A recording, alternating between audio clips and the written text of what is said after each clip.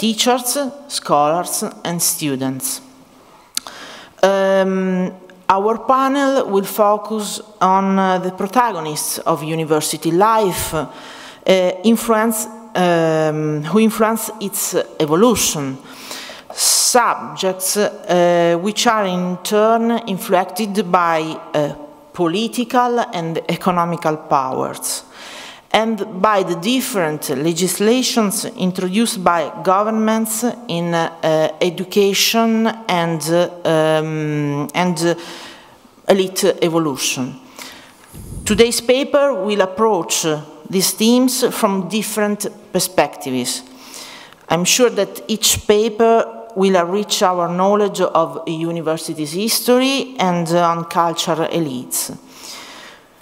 We, we hope uh, we'll get many questions to our speakers uh, and to Professor Victor Karady, whom we are pleased to have as discussant today. Now, uh, I, would uh, like to introduce the first participant in our panel, Peter Tibor Nagy, is a university professor at John Wesley College, is founding member of the Research Center for Sociology of the Education and Youth in Budapest, president of the section of Sociology of Education of the Hungarian Sociological Association, is member of the Subcommittee of History of the Education of the Hungarian Academic of Sciences and founding member of the Subcommittee of Sociology of Education of the Hungarian Academy of Sciences. He represented Hungary in a European project about the attractiveness of academic career headed by Junger, Jürgen Enders. He was co-editor for a European Research Council financed a World Research Grant led by Professor Karady about elite education in Central Europe and Baltics. Now he is co-leader of one of the panel of the research led by Gisèle Sapiro, head of École des études en sciences sociales de Paris, about the history of social science. His main research interests include the state, church, education relations, history of educational provision in Central Europe, national schooling, social history of science. He has published a lot of studies on the organization of educational science and historiography in Hungary. His paper, titled Differences and Parallelities of the Social Circumstances of Academic and Extra-Academic Elite Groups in the Social Sciences, the case of Hungary 1990-45 focus on a study on recruitment and career partners of actors of the social science in Hungary. Thanks to a prosopographical approach, Professor Nagy presents not only reconstruction of scientific profiles, but also shows how various culture policies have been during the first half of the 20th century in Hungary, the study will refer to individuals active in sociology, social statistics, geography, demography, political science, psychology, history, pedagogy, philosophy, and the study of national literature. Please, Professor Nagy. Thank you. Um, uh, dear colleagues, um, uh, in uh, this lecture uh, a little uh, changed my mind and I uh, will speak less about the case of Hungary. And at first I would like to uh, pay your uh, attention in a, a special contradiction which was brought the some some modern um, thought or some modern paradigm of the social sciences and the contradiction which appeared uh, uh, uh, between the university, the, the, history of universities uh, and uh, a, a, history of sciences, which originally in the uh, in in our mind in the 19th century supported each other. Um, now I see some, some contradiction uh, uh, in this story, and at first I would like to uh, speak about this. The first uh, question that uh, what is the, the consequence of the, of the um, uh, famous uh, book of uh, Kuhn, I speak about the, um, structure of, uh, of uh, scientific revolution. The, as you know, the uh, uh, in, in the paradigm of Kuhn or in the uh, spirit of Kuhn, the growing of, of sciences is not a linear one, but it, it works as a kind of revolutionary um, attraction. But what does it mean, or what is it? Uh, uh, how, how uh, can we uh, uh contact it uh, to the university life and the history of university? There is a strange consequence that um, if we believe Kuhn that the, science, the, the future of science in uh, seeing from any uh, point of the history of science will be a kind of post-revolutionary situation. It means that the from any uh, point of history, the contemporary university uh, elite is a kind of counter-revolutionary uh, position which practically mean that when we speak about uh, uh, university elite, they are this university elite per definitionem against uh, the future of the science. Per definitionem, if we believe the, that the, the scientific uh, uh, life will happen in, the, in, a, in a kind of revolutionary uh, situation. Or positively speaking, the, uh, how, how does it work, sorry, yes, uh, uh, the normal science which determines the recruitment of the, of the university elite and not that kind, and not really the future of the real sciences. Okay. But let's see another um, uh, popular paradigm, the uh, sociology of uh, knowledge, uh, the, what, what's the consequence of uh, uh, thinking of Mannheim? If we believe Mannheim, the, we, we have to stress the, that the level of um, social integration of academics determine the chances of appearing of a revolutionary thought. I mean, uh, not academically or not scientifically revolutionary, but socially revolutionary uh, thought.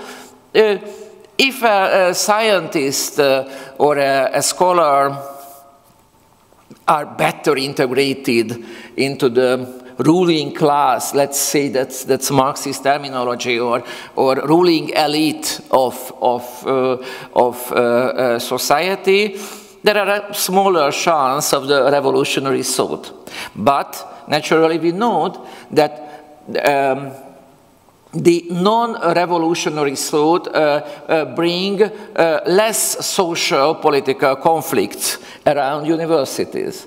And naturally, uh, in every society, the state or the, uh, or the ruling classes who are ready to pay the fees finance the universities, which definitely mean that the um, the majority of any kind of uh, uh, social sciences or science scientists somehow belong to the ruling elite of the contemporary society and definitely not the future uh, of, the, uh, of the society. It means that if we see any of that two type of paradigm, both Kuhn, who is on the basis of natural sciences and exclude any kind of real sociologist uh, uh, attitude, or we use Mannheim as a kind of post-Marxist or a quasi-Marxist argumentation. Both modern uh, so, things thought that the, if we see the elites of university, we uh, uh, will speak, we will not speak about the uh, real situation or the real future of the sciences. I think it's a very, very interesting contradiction in generally of uh, uh, in, in uh, generally in the history of universities.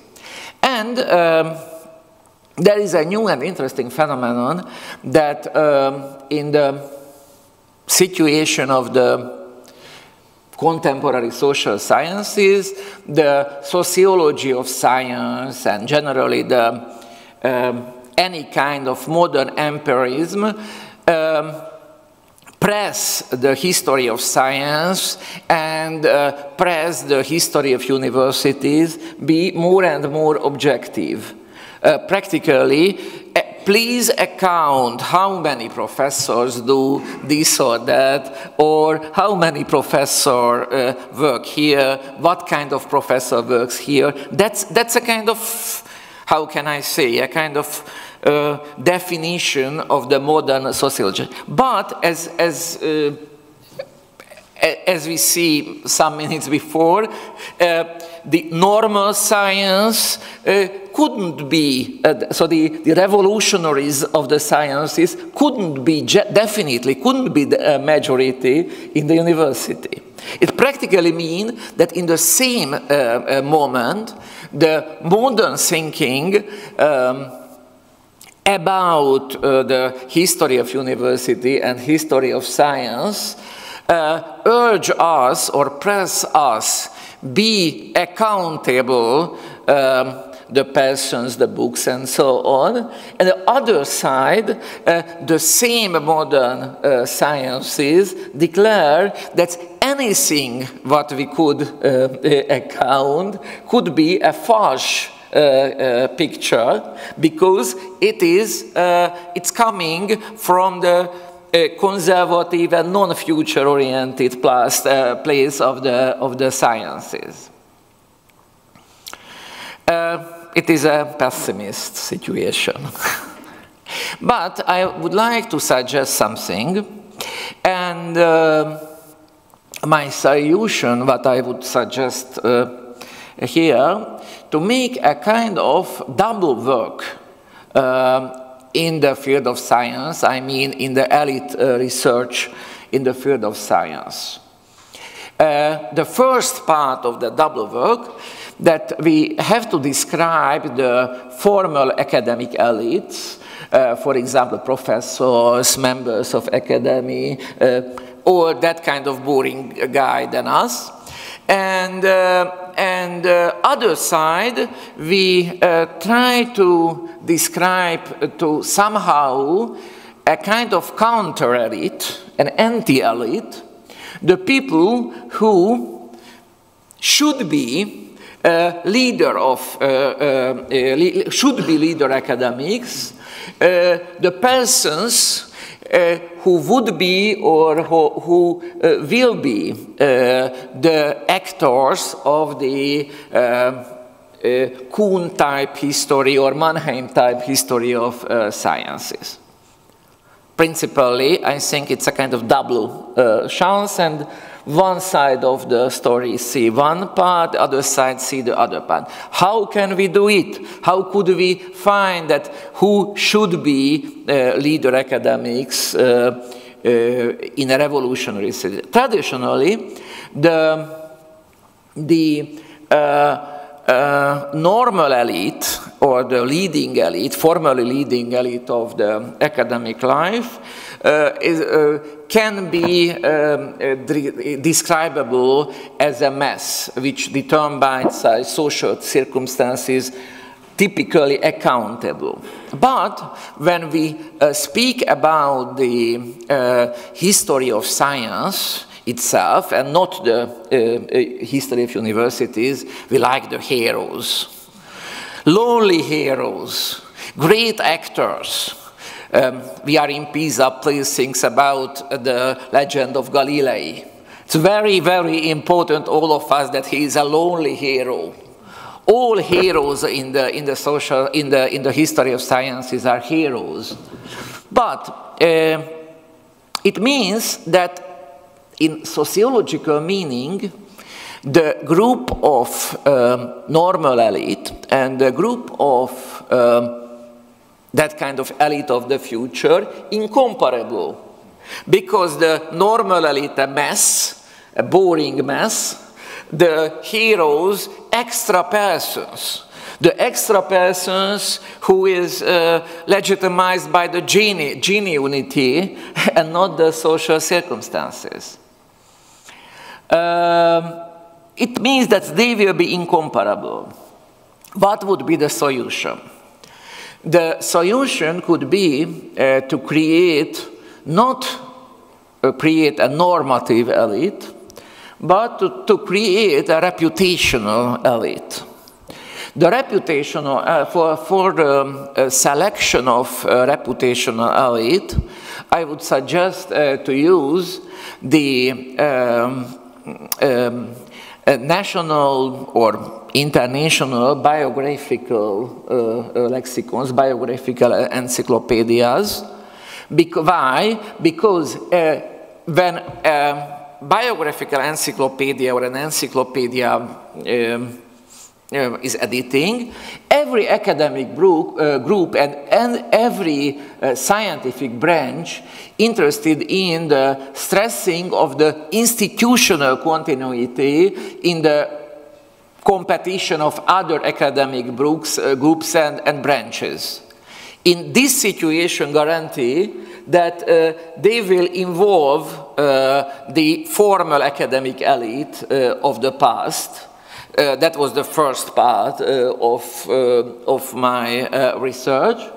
And the second, that every academic subgroup, so every new paradigm, every new topic, is interested in to show his uh, special inheritor, his special uh, past. This special past will um, bring a bigger number uh, uh, scholars, uh, sometimes non-formally academics. for example, they, they find somebody who wrote similar things in, in reviews or teach similar things in a secondary school, what uh, now we are the uh, clever new academic uh, persons uh, brought uh, into the university life, but there was some, some prelude of the story.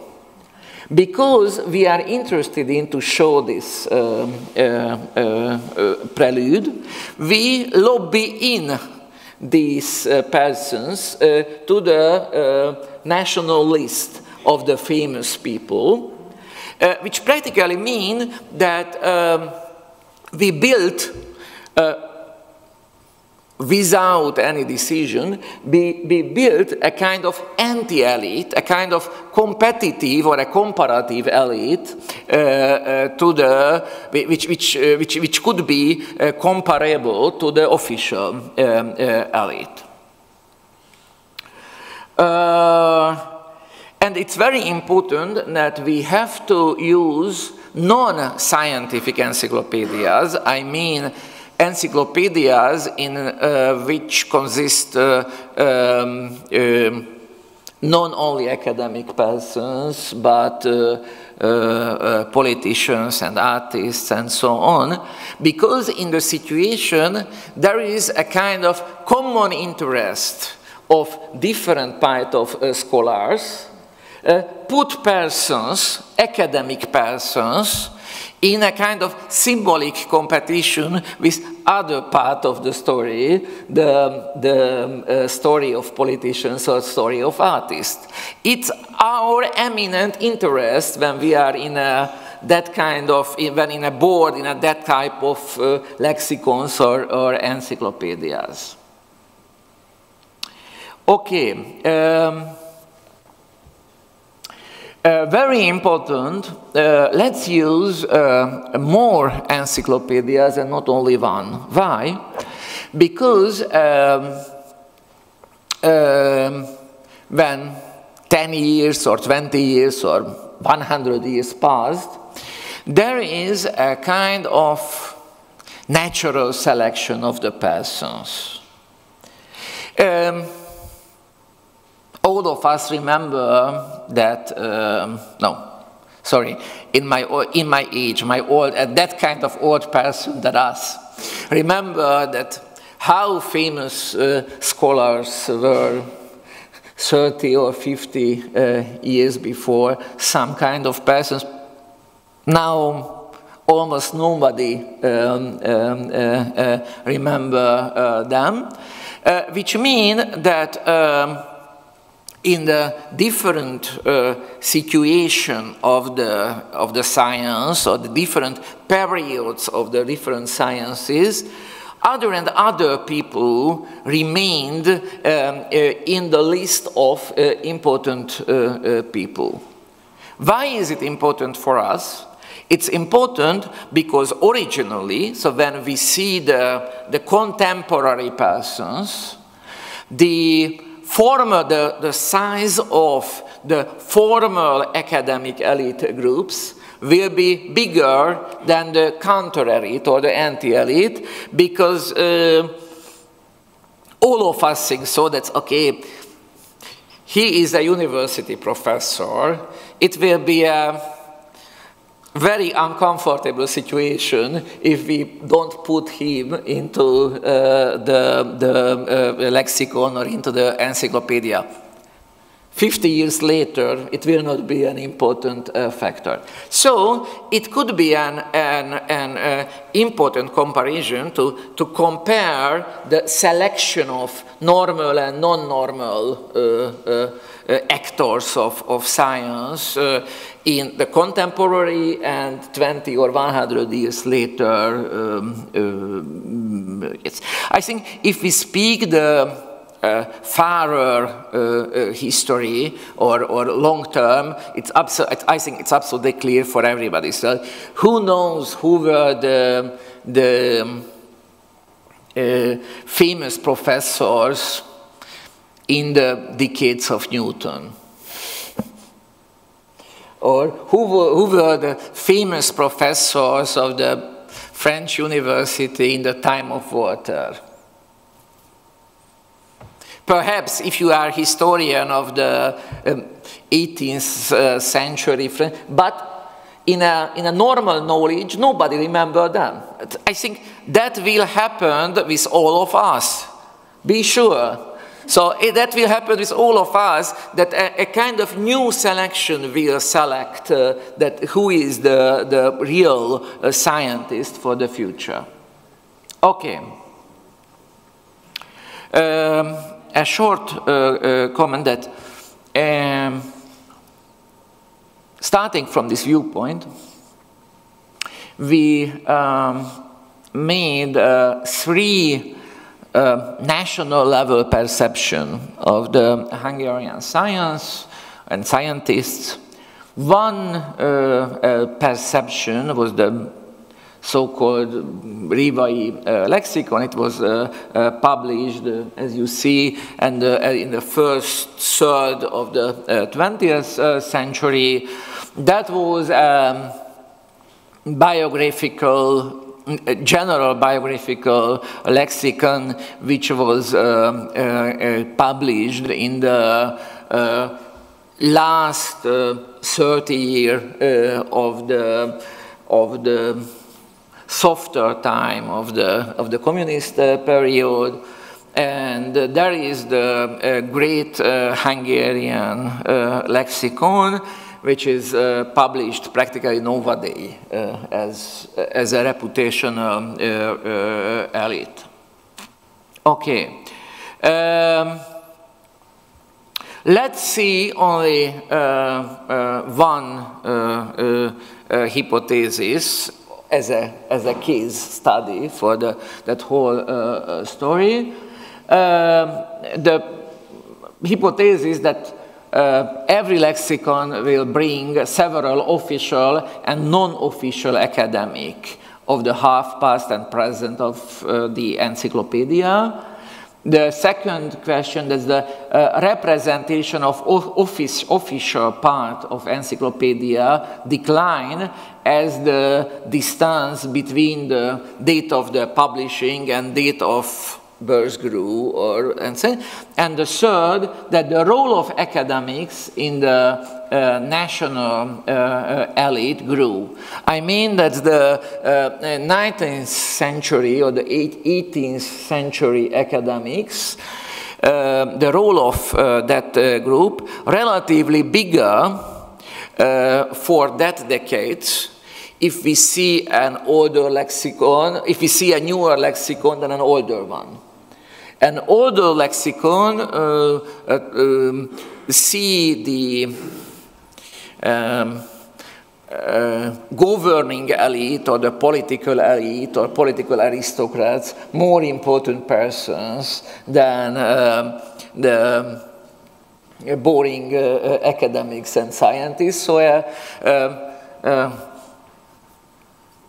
important rich man or an important aristocrat uh, for the contemporaries seem uh, to be a more important person than an academic of the same time. When the, after 50 years or 100 years, it became clear that the book of him remained somehow in the um, uh, national thinking or the national reputational uh, uh, viewpoint the famous person or the great aristocrat disappeared uh, from the story. Okay. Uh, be more concrete uh, that um, the pre-1918 uh, period um, in that 20 year, uh, the first, uh, first two decades of the 20th century, there was two great cleavages in the, in the social yes, in social sciences. One uh, cleavage was the dominant sciences contra modern sciences, and the second cleavages was the modern traditionalist cleavages. Only one information which we uh, sought, uh, which we sought to think or to see in the list of uh, scientists, and that's the social background of that uh, scientist. And we can see that um, more modern social science, more non-Christian uh, Hungarian origin. It shows that uh, if we see uh, the theology, history, literary history, and uh, linguistics was relatively not high uh, uh, percent of Jewish, but if we see the modern sciences, especially sociology, um, uh, um, uh, uh modern private law, economy, uh, uh, the much higher percent of Jewish. But, but not only the Jewish Christian um, role expressed that kind of modern, non-modern uh, uh, uh, cleavage. But if we see that um, within the cluster of, within the clusters of, sorry, yes, um, Yes, so not, not only the Jews-Christian uh, um, uh, relation is responsible for that non-Magyar or non-Christian Magyar face of the uh, role of uh, uh, modern sciences, but within the non-Jewish part of academic elites, um, the uh, modern, uh, in, the, in the field of modern uh, sciences, uh, had a German uh, background. So it practically means that in every uh, modern sector of the, of the sciences, the Jewish and German elite determined the um, Hungarian fields of social sciences. And uh, if we uh, would see other elements uh, of the um, academic and extra uh uh, uh, uh, academic group, we could build uh, similar stories. So the extra academic groups, not describable as describable as the story of a lonely uh, big uh, person, lonely big uh, uh thinkers, but good definable social clusters of the uh, society. Uh, it was only one element, that is the, the ethnical or religious background, but any kind of other uh, uh, um, uh, cluster or any viewpoint could be uh, a similar uh, outcome. Thank you for your attention.